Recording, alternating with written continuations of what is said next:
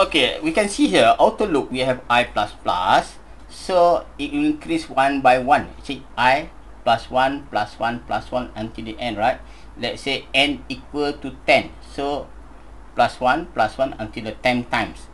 Okay, similar to the uh, the inner loop represented by j, j plus plus mean j equal to 1 plus 1. Mean j equal to 1 uh, and then plus 1. So 1 plus 1 plus 1 plus 1 until the end. So here, based on this pattern, basically we can map to the summation formula, which is formula number 1. So here, we have the summation here. So where we have the n here, and this actually start with the i, i equal to 1, n increase by 1. And here, the second loop, the inner also n here until the n the same and j equal to 1 until the 1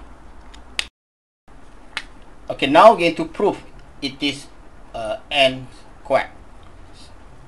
So here actually we can uh, these are the pattern 1 plus 1 plus 1 plus until the n. This also the same 1 plus 1 plus 1 until the end and this equal to if you cut the formula mu minus L plus 1 this also the same uh, minus L plus 1 so this actually the M here. M minus L here is I minus I plus 1 and here actually is uh, also the M.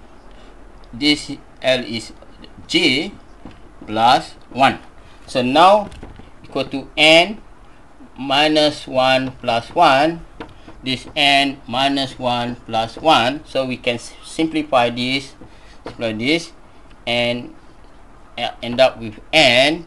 And now we get o n squared because n times m here.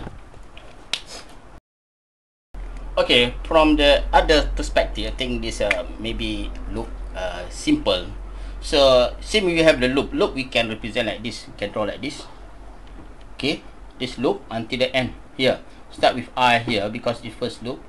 I equal to 0. And maybe I equal to 1. Oh, sorry. Start with 1 just now. 2.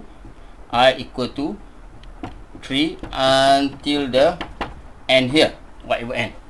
And for the second loop, basically we can represent like this.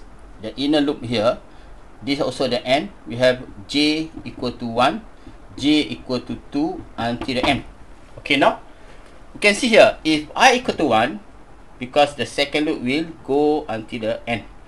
1 the first round j time until the m. And after that back to i i equal to j time. So we can see that how many n here until the n here n. So this basically we have a n here time n here So n time n. So of course the answer will be n squared here.